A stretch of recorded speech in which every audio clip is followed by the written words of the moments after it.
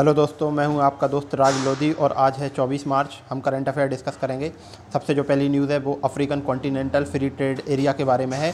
तो अभी रिसेंटली जो अफ्रीकन कंट्री हैं, वहाँ के जो कंट्रीज़ हैं, उनने सबने एक साथ आके एक समिट ऑर्गेनाइज़ किया और अब ये लोग फ्री ट्रेड एग्रीमेंट करने वाले हैं। तो चवालीस जो अफ्रीकन कंट्री हैं, वो एक साथ आ गए हैं और केगाली में रवांडा एक कंट्री है तो रवांडा के केगाली में ये समिट ऑर्गेनाइज हुआ, है ना? तो अफ्रीकन कंट्रीज़ एक फ्री ट्रेड एग्रीमेंट कर रहे हैं। थोड़ी सी बातें हम इसके बारे में कर रहे हैं। तो अफ्रीकन जो फ्री ट्रेड एग्रीमेंट होने वाला है, इसमें वही सारी अच्छी बातें हैं कि ये लोग जो टैरिफ हैं, उसको 90 परसेंट तक कम कर लेंगे, है ना? ताकि जो गुड्स हैं, वो बहुत इजीली एक मार्केट से दूसरे मार्केट में मूव कर सकें।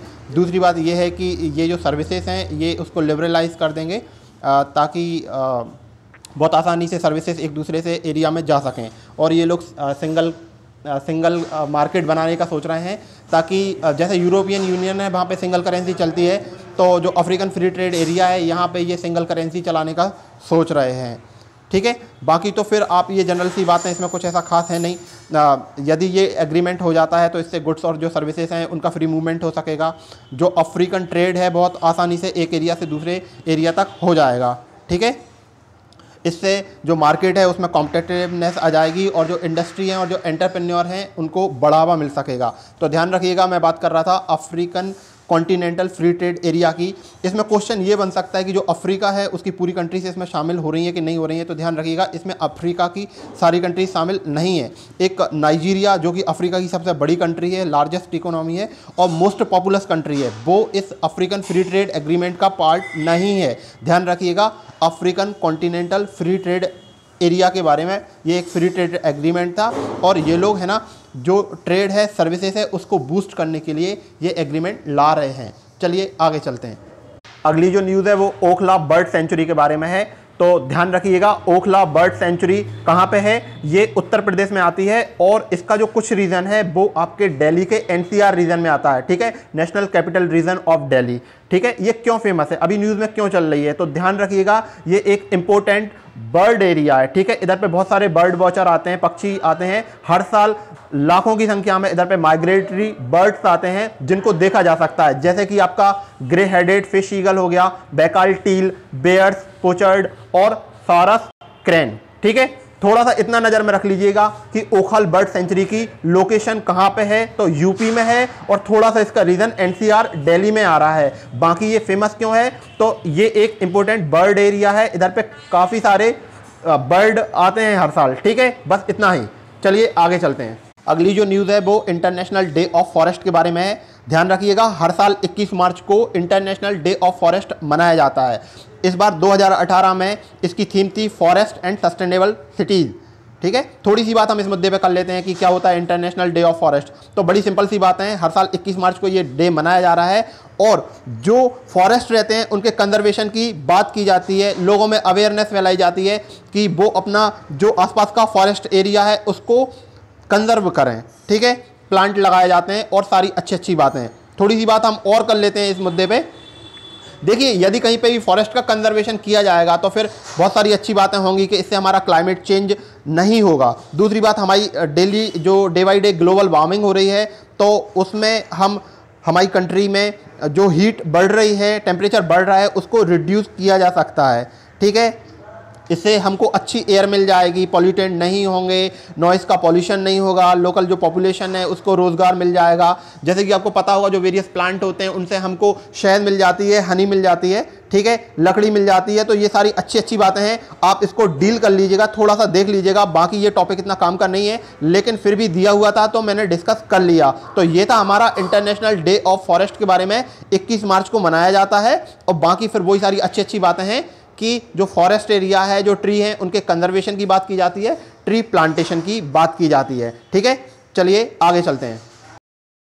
अगली जो न्यूज़ है, वो ब्रह्मोस सुपरसोनिक क्रूज मिसाइल के बारे में है। तो देखिए, अभी रिसेंटली क्या हुआ कि हमारी कंट्री में जो सुखोई थर्टी फाइटर एयरक्राफ्ट है, वहाँ से इस मिसाइल को लॉन्च किया गया। थोड़ी सी बातें हम ब्रह्मोस सुपरसोनिक क्रूज मिसाइल के बारे में कर लेते हैं। तो ध्यान रखिएगा, ब्रह्मोस पूरी दुनिया में सबसे फास्टेस्ट क्रूज मिसाइल है। इसका जो स्पीड है, वो साउंड से भी ज़्यादा है, ठीक है? और ये जो रशिया है, रशिया की रिवर है मॉस्कोवा और इंडियन रिवर है ब्रह्मपुत्रा। तो इन दोनों के नाम को मर्ज करके ये मिसाइल बनाई गई है, जिसका नाम है ब्रह्मोस, ठीक है? और बाकी फिर मैं इसकी रेंज की बात करूँ तो इसकी रेंज है 450 किलोमीटर, लेकिन इंडिया एमटीसीआर में शामिल हो गया है, आपको पता होगा। मिसाइल टेक्नोलॉजी कंट्रोल रिजिम में हमारा अभी इंडिया ने पार्टिसिपेट किया है तो अब इस मिसाइल की जो रेंज है, वो 600 किलोमीटर हो गई है। ध्यान रखिएगा ब्रह्मो सुपरसोनिक क्रूज मिसाइल के बारे में क्वेश्चन पूछा जा सकता है। ये पूरी वर्ल्ड की फास्टेस्ट क्रूज मिसाइल है, इसकी स्पीड साउंड से भी तेज है और इसकी जो स्ट्राइक रेंज है, वो 600 किलोमीटर के लगभग में है। चलिए, आगे चलते हैं। अगली जो न्यूज़ है वो वर्ल्ड वाटर डे के बारे में है। ध्यान रखिएगा, हर साल 22 मार्च के दिन वर्ल्ड वाटर डे मनाया जाता है। 2018 में ये दिन जब सेलिब्रेट किया गया तो इस बार की इसकी थीम थी नेचर फॉर वाटर ठीक है, इसमें वाटर के कंजर्वेशन के लिए नेचर बेस्ड सॉल्यूशन पे फोकस किया जाता है। जो यूएन है यूनाइटेड नेशन वो एक कैंपेन चला रहा है, जिसका नाम है the answer is in nature ठीक है? तो इस कैंपेन के थ्रू भी यूएन जो वाटर के कंजर्वेशन की बातें कर रहा है, ठीक है? वेरियस कंट्री एक साथ आ रही हैं और इसमें वाटर के कंजर्वेशन की बात की जा रही है। हमारा जो यूनाइटेड नेशन है सस्टेनेबल डेवलपमेंट गोल जो है, उनमें जो सस्टेनेबल डेवलपमेंट का गोल सिक्स है, वो भी वाटर के कंजर्वेशन की बात करता है। यदि हम वाटर का कंजर्वेशन करेंगे तो सिंपल सी बात है, हमको अच्छा ड्रिंकिंग वाटर मिल जाएगा क्लीन सैनिटेशन और सारी अच्छी अच्छी बातें। यदि हम ये दिन सेलिब्रेट कर रहे हैं तो इसमें होने वाला क्या है? तो देखिए, इनमें ये जो डे होते हैं, जो सेलिब्रेट किए जाते हैं, इसमें ग्लोबल लेवल पे वाटर कंजर्वेशन की बात की जाती है। पब्लिक को अवेयर कराया जाता है कि आप वाटर को कंजर्व करें। पब्लिकेशन रिलीज़ किए जाते हैं, ताकि लोगों में और ज़्यादा जागरूकता हो सके और कुल मिला के जो क्लीन वाटर कंजर्वेशन है, उसको प्रमोट किया जाता है। तो ध्यान रखिएगा वाटर कंजर्वेशन के बारे में चलिए आगे चलते हैं। अब हम मिनिस्ट्री ऑफ़ अर्बन डेवलपमेंट की स्कीम डिस्कस करेंगे। सबसे जो पहली स्कीम है, वो है स्मार्ट सिटी मिशन ठीक है? तो ये जो स्कीम थी, ये 2014 में लॉन्च की गई थी और इसका मकसद ये था कि हमारी कंट्री में हंड्रेड जो सिटीज़ हैं, उनको मॉडर्न तरीके से डेवलप किया जाए, उनको स्मार्ट सिटी बनाया जाए, ठीक है? तो ये जो स्कीम थी, ये 2015 से 2020 के बीच में हंड्रेड सिटीज़ को सिलेक्ट करना था। इन सिटीज़ में बेसिक इंफ्रास्ट्रक्चर को डेवलप करने की बात की गई थी, जैसे कि water power supply sanitation solid waste management public transport IT की कनेक्टिविटी होना चाहिए ई गवर्नेंस और सिटीजन का पार्टिसिपेशन होना चाहिए, ठीक है? इसके बाद ये जो स्मार्ट सिटी डेवलप की जाएँगी, इसके लिए स्टेट्स और जो अर्बन लोकल बॉडी रहेंगी, जैसे कि आपकी जो नगर पालिका होती है, नगर निगम होती है है ना? जो अर्बन लोकल बॉडी होती हैं, उनका सपोर्टिव रोल रहेगा in the development of smart cities इसके बाद सिटी लेवल पर जो डेवलपमेंट होना है, उसके लिए एक स्पेशल बॉडी बनाई जाएगी स्पेशल पर्पस व्हीकल डेवलप किया जाएगा, ताकि स्मार्ट सिटीज़ जो मिशन है है ना, उसके उसमें स्मार्ट सिटीज़ तैयार की जा सकें। तो ये था हमारा स्मार्ट सिटी मिशन के बारे में। ध्यान रखिएगा हंड्रेड मॉडर्न सिटी को तैयार करना था और उनमें बेसिक इंफ्रास्ट्रक्चर को डेवलप करना था। चलिए आगे चलते हैं। अगली जो स्कीम है वो है हृदय के बारे में, जिसका फुल फॉर्म होता है heritage infrastructure development and augmentation योजना, जिसे शॉर्ट में हृदय बोला जा रहा है। तो हमारी कंट्री में जो ऐसी कल्चरल सिटी हैं, ठीक है तो उनको प्रिजर्व करना है और उनको रिजोवेनेट करना है। यही हृदय का मिशन है। Heritage infrastructure development and augmentation योजना, जिसको हृदय के नाम से भी जानते हैं। तो इस मिशन के तहत, इस स्कीम के तहत हमारी कंट्री में 12 जो सिटी हैं, जो कल्चरल सिटी हैं, उनको सेलेक्ट किया गया है और उनको जो वहाँ का कल्चर है वहाँ पे जो मंदिर वगैरह रहेंगे, टेंपल रहेंगे, या जिस वजह से वो हेरिटेज सिटी जानी जाती हैं तो उनको प्रिजर्व किया जाएगा और उनको रिजोवेनेट किया जाएगा। वो बारह सिटी हैं आपकी, अजमेर, अमृतसर, अमरावती, बदामी, द्वारका, गया, वारंगल, पुरी, कांचीपुरम, मथुरा, वाराणसी और बेलाकनी देखिए इसमें आगरा नहीं है ताजमहल हमारी कंट्री का बहुत फ़ेमस मोन्यूमेंट है बट वो आगरा इसमें नहीं है। हो सकता है कंफ्यूज करने के लिए आगरा पूछा जाए। हालाँकि नंबर बहुत ज़्यादा हैं बारह सिटी हैं तो शायद आ, ना भी पूछा जाए बट अब आप ध्यान रखिएगा मेरे जहन में ये बात आई तो मैंने बता दी। थोड़ी सी बात और करेंगे इस स्कीम के बारे में तो ध्यान रखिएगा ये एक सेंटर सेक्टर की स्कीम है। मतलब इसका जो पूरी की पूरी जो फंडिंग है इसका जो खर्च है वो पूरा सेंट्रल गवर्नमेंट देने वाली है। इसके बाद जो स्टेट हैं और जो लोकल अर्बन बॉडी हैं, वो भी अपने रिसोर्सेज की सप्लीमेंट करेंगे ताकि ऐसी जो हेरिटेज सिटी हैं, उनका रैपिड डेवलपमेंट हो सके। इसके लिए गवर्नमेंट हैं एकेडमिक इंस्टीट्यूशन हैं और जो लोकल कम्युनिटी हैं, सबके सब पार्टिसिपेट करेंगे ताकि ये जो प्रोजेक्ट है, हृदय इसको फुलफ़िल किया जा सके। जो हृदय है, इसके ऑब्जेक्टिव देख लेते हैं। तो मैंने कहा जैसा कि जो हेरिटेज सिटी हैं उनके कंजर्वेशन का ध्यान दिया जाएगा। इसके अलावा जो सिटीज़ हैं उनकी अर्बन प्लानिंग की जाएगी और उनके इकोनॉमिक ग्रोथ पे फोकस किया जाएगा। ऐसी जो हेरिटेज सिटी हैं इनके ब्यूटिफिकेशन पे ध्यान दिया जाएगा और वहाँ पे साफ़ सफ़ाई सिक्योरिटी सुरक्षा लाइवलीहुड इन सारी चीज़ों पे भी आ, फोकस किया जाएगा। ये जो सिटी हैं इन इधर पे कनेक्टिविटी बढ़ाने की बात की गई है ताकि जो टूरिस्ट हैं वो बहुत इजीली वहाँ पे एक्सेस कर सकें। ठीक है? और जो हेरिटेज सिटी हैं उनके फ्यूचर यूज़ के लिए उनका कंजर्वेशन किया जाएगा डेवलपमेंट किया जाएगा ताकि जो हेरिटेज सिटी हैं वो टूरिस्ट को अट्रैक्ट कर सकें। तो ये था हमारा हृदय प्रोजेक्ट के बारे में। जैसा कि मैंने बताया जो हमारी हेरिटेज सिटी हैं उनका डेवलपमेंट किया जाता है उनको मॉडर्नाइज किया जाता है उनके आ, उनको प्रिजर्व किया जाता है। ठीक है? चलिए आगे चलते हैं। अगली जो स्कीम है वो अमृत के बारे में है। जिसका फुल फॉर्म है Atal mission for rejuvenation and urban transformation जिसका शॉर्ट में नेम है Amrut A M R U T देखिए, ये भी पुरानी स्कीम की तरह है। पहले इसका नाम Jawaharlal Nehru national urban renewal mission था। अभी इसका नाम चेंज करके Atal mission for rejuvenation and urban transformation Amrut कर दिया गया है। ये जो स्कीम है, इसमें जो सिटीज़ हैं, उनमें बेसिक इंफ्रास्ट्रक्चर सर्विसेज़ डेवलप की जाएँगी। Water supply sewage drainage green park है ना? तो ये सारी जो एम्यूनिटीज़ हैं, वो सिटीज़ में डेवलप की जाएगी। जो अमृत प्रोजेक्ट है, इसमें ऐसी 500 लोकेशन का डेवलपमेंट किया जाएगा, जिनमें पॉपुलेशन एक लाख से ज़्यादा है। इसमें कई सारी ऐसी सिटीज़ को सिलेक्ट किया जाएगा, जो कि रिवर किनारे पे हैं hilly area island tourist area पे पड़ेंगी। इसमें जो स्टेट्स हैं उनको फ्लेक्सिबिलिटी दी गई है डिज़ाइनिंग स्कीम की। क्या मतलब हुआ इस बात का? इसका मतलब ये हुआ कि जो सिटी है उसके टेरेन के हिसाब से उनकी ज़रूरत के हिसाब से जो स्टेट हैं वो आ, उस प्रोजेक्ट के आ, लिए उस हिसाब से डिज़ाइन बना सकते हैं। इसमें ऐसा है जो स्टेट हैं वो सेंटर के पास अपना प्लान लेके जाएँगे और वो अप्रूव हो जाता है तो फिर सेंट्रल गवर्नमेंट फ़ंड को रिलीज़ कर देगी। फंडिंग का तरीका ऐसा है कि ऐसी सिटी जहाँ पे 10 लाख के तकरीबन पॉपुलेशन है, उसकी 50 परसेंट प्रोजेक्ट की कॉस्ट सेंट्रल गवर्नमेंट देगी और बाकी का जो खर्च है, वो स्टेट गवर्नमेंट को उठाना पड़ेगा। और ऐसी सिटी जिनमें पॉपुलेशन मोर देन 10 लाख है तो वहाँ पे जो प्रोजेक्ट का खर्च है, उसका वन थर्ड सेंट्रल गवर्नमेंट देगी। ठीक है? तो ध्यान रखिएगा, ये था हमारा अमृत प्रोजेक्ट के बारे में, जिसमें जो सिटीज़ हैं, उनको डेवलप किया जाना है अर्बन का ट्रांसफॉर्मेशन किया जाने वाला है। आगे चलते हैं। अब हम ministry of social justice and empowerment की स्कीम डिस्कस करेंगे। सबसे पहली जो स्कीम है, वो है इंक्लूसिव इंडिया इनिशिएटिव के बारे में। तो देखिए ministry of social justice and empowerment के तहत नेशनल ट्रस्ट आता है और ये नेशनल ट्रस्ट ने एक कॉन्फ्रेंस ऑर्गेनाइज की थी, जिसका नाम है inclusive India initiative towards and inclusive India for intellectual and development disability तो जो इंक्लूसिव इंडिया इनिशिएटिव है, मैं बिल्कुल इसे सिंपल सी भाषा में बता रहा हूँ, सुन लीजिए। जो नेशनल ट्रस्ट है, उसने ये इनिशिएटिव लॉन्च किया है। इसमें जो बंदे होते हैं, जो लोग होते हैं, जिनमें इंटेलेक्चुअल एंड डेवलपमेंट डिसेबिलिटी होती है उनके इम्प्रूवमेंट के काम किया जाता है।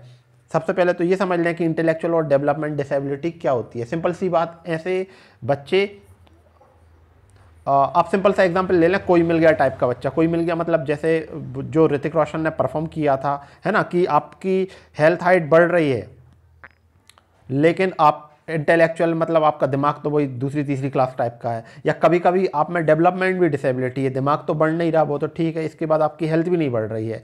तो इस टाइप के दो, जो दोनों टाइप के लोग होते हैं, वो कवर किए गए हैं। इंटेलेक्चुअल डिसेबिलिटी है ना, कोई मिल गया टाइप का, और कभी कभी डेवलपमेंट डिसेबिलिटी के विकास भी नहीं हो रहा, और दिमाग तो विकसित हो ही नहीं रहा। तो नेशनल ट्रस्ट ने ये इंक्लूसिव इंडिया इनिशिएटिव चलाया था, ताकि ऐसे जो बच्चे हैं, जिनमें ऐसे बच्चे या ऐसे जो पर्सन हैं जिनमें इंटेलेक्चुअल और डेवलपमेंटल डिसेबिलिटी है, उनका इंक्लूसिव डेवलपमेंट किया जा सके। इसके लिए इंक्लूसिव एजुकेशन इंक्लूसिव एम्प्लॉयमेंट और इंक्लूसिव कम्युनिटी लाइफ पे फोकस किया जाता है। इंक्लूसिव एजुकेशन मतलब जो हमारी एजुकेशन का सिस्टम है, उसमें आप ऐसा इंफ्रास्ट्रक्चर में चेंजेस ले आएँ है ना? लोगों के माइंडसेट में चेंज ले आए कि ऐसे सभी लोगों को हम समन्वित रोज़गार दे सकें, समन्वित शिक्षा दे सकें और वो जो कम्युनिटी है, जो कि हमारा समाज है, उसके साथ वो लोग इंटरेक्ट कर सकें। तो ये एक बड़े स्तर पे पान इंडिया बेसिस पे ये कैंपेन चलाया जा रहा है ताकि इस टाइप के जो लोग हैं, जिनमें इंटेलेक्चुअल और डेवलपमेंटल डिसेबिलिटी हैं, उनको डील किया जा सके। 2000 के तकरीबन जो कॉरपोरेट सेक्टर के ऑर्गेनाइजेशन है, पब्लिक और प्राइवेट, वो लोगों में अवेयरनेस फैला रहे हैं ताकि जो डेवलपमेंटल और इंटेलेक्चुअल डिसेबिलिटी रहती है, इसको डील किया जा सके। स्कूल, कॉलेज में भी इस टाइप के प्रोग्राम चलाए जाते हैं, ऐसे इंफ्रास्ट्रक्चर में चेंज लाए जाते हैं ताकि इस टाइप के बंदों को डील किया जा सके। एक हम नेशनल ट्रस्ट के बारे में भी थोड़ी सी बात कर रहे हैं। जो नेशनल ट्रस्ट है, ये एक सिचुएटरी बॉडी है ministry of social justice and empowerment के तहत आती है। एक एक्ट आया था national trust for the welfare of person with autism cerebral palsy retardation and multiple disability act उन्नीस सौ निन्यानवे में आया था तो उसके तहत ये बॉडी सेटअप की गई थी नेशनल ट्रस्ट और इसका काम क्या है? तो इस टाइप के जो लोग होते हैं, जिनमें डिसेबिलिटी रहती है तो उनको उनको अपॉर्चुनिटी प्रोवाइड करना इसका मकसद है है ना? उनके लिए इस टाइप का माहौल बनाना इंक्लूसिव सोसाइटी तैयार करना इंक्लूसिव इन्वामेंट तैयार करना और उनके जो राइट्स हैं वो उनको दिलाने के लिए ये जो बॉडी है वो काम करती है। चलिए, आगे चलते हैं। अगली जो स्कीम है वो दिव्यांग सारथी के बारे में है तो ध्यान करिए, ध्यान रखिएगा, गवर्नमेंट ने दिव्यांग सारथी एप्लीकेशन लॉन्च किया है। ये एक मोबाइल एप्लीकेशन है और जो दिव्यांग जन रहते हैं उनको फोकस करके ये एप्लीकेशन बनाया गया है। Department of empowerment of person with disability ठीक है? ये जो डिपार्टमेंट होता है, जो दिव्यांग लोग होते हैं, दिव्यांग आप समझते होंगे अपायज हो गए विजुअली इम्पेयर्ड हो गए, कुछ लोगों को सुनाई नहीं दे रहा है लेम हो गए, है ना? तो कई सारे लोग इस टाइप के दिव्यांग कहलाते हैं। तो उनके वेलफेयर के लिए, उनके एम्पावरमेंट के लिए एक डिपार्टमेंट होता है, जिसका नाम होता है department of empowerment of person with disability ये जो डिपार्टमेंट है, ऐसे जो दिव्यांग लोग हैं, उनके लिए वेरियस इन्फॉर्मेशन प्रोवाइड करता है कि आ, क्या कंट्री में एक्ट चल रहे हैं क्या रूल्स रेगुलेशन हैं क्या गाइडलाइन है क्या रोज़गार की अपॉर्चुनिटी है। तो ये सारी चीज़ें इस मोबाइल एप्लीकेशन के थ्रू अवेलेबल कराई जाएँगी दिव्यांग लोगों के लिए। ठीक है इसमें ऑडियो नोट्स हैं मतलब जिनको विजुअली इम्पेयर्ड हैं या सही से नहीं देख पाते तो फिर इसमें फ़ॉन्ट साइज़ भी एडजस्ट की जा सकती है। ये जो मोबाइल एप्लीकेशन है इसमें दो बातों को स्पेशल फोकस रखा गया है। एक एक्ट आया था rights rights of person with disability act है ना? तो उसमें जो भी रूल्स रेगुलेशन गाइडलाइन दी गई थी, वो इस मोबाइल एप्लीकेशन में कंसिडर करी गई हैं उन बातों को। और united nation convention on the rights of person with disability तो जो यूएन कन्वेंशन की गाइडलाइन है है ना यूनिवर्सल एक्सेस हो सके दिव्यांग लोगों के लिए तो वो भी मोबाइल एप्लीकेशन बनाते समय इन दोनों एक्ट के जो भी गाइडलाइन है रूल्स रेगुलेशन है, उनको कंसीडर करके ये मोबाइल एप्लीकेशन तैयार किया गया है, ताकि जो दिव्यांग लोग हैं, है ना, उनको हर टाइप की इन्फॉर्मेशन प्रोवाइड की जा सके, क्या एक्ट हैं रूल्स रेगुलेशन गाइडलाइन एम्प्लॉयमेंट है ना? तो ये था हमारा दिव्यांग सारथी के बारे में ध्यान रखिएगा, चलिए आगे चलते हैं। तो दोस्तों, ये था हमारा आज का डिस्कशन चलिए देख लेते हैं शुरू से आज हमने क्या क्या डिस्कस किया। सबसे पहले हमने अफ्रीका, जो कंट्री हैं, वो उन्होंने फ्री ट्रेड एग्रीमेंट साइन किया है ताकि वहाँ पर ट्रेड को बढ़ावा दिया जा सके सर्विसेज़ और अच्छी की जा सकें, है ना? और वो सिंगल करेंसी की भी बात चल रही है। मैंने उसमें ये भी बताया था कि वहाँ की जो सबसे डेवलप्ड इकोनॉमी है, सबसे बड़ी जो कंट्री है नाइजीरिया वो फ्री ट्रेड एग्रीमेंट में उसने पार्टिसिपेट नहीं किया है। हमने इसके बाद वाटर कंजर्वेशन डे के ऊपर बात की थी वर्ल्ड वाटर डे के ऊपर बात की थी है ना? वाटर के कंजर्वेशन की इसमें बातें की गई थी। हमने फॉरेस्ट डे के ऊपर भी बात की थी वर्ल्ड फॉरेस्ट डे उसके ऊपर भी बात की थी हमने बताया था कि फॉरेस्ट के कंजर्वेशन की उसमें बात की गई थी। फिर इसके बाद हमने आ, हमने आ, हमने ओखला बर्ड सेंचुरी के बारे में डिस्कस किया था। मैंने बताया था कि ये यूपी में है और ये इस बार पे बहुत सारे माइग्रेटरी बर्ड्स आते रहते हैं। फिर हमने ब्रह्मोस मिसाइल के बारे में डिस्कस किया था। फिर इसके बाद हमने गवर्नमेंट की स्कीम डिस्कस की थी। सबसे पहले हमने मिनिस्ट्री ऑफ़ अर्बन डेवलपमेंट की तीन स्कीम डिस्कस की थी। हमने smart cities mission develop sorry, smart cities mission के बारे में डिस्कस किया था। मैंने बोला था कि हंड्रेड सिटीज़ को मॉडर्न मॉडर्न तरीके से डेवलप किया जा रहा है। 2020 तक ये सिटीज़ में मॉडर्न एम्यूनिटी तैयार की जाएँगी।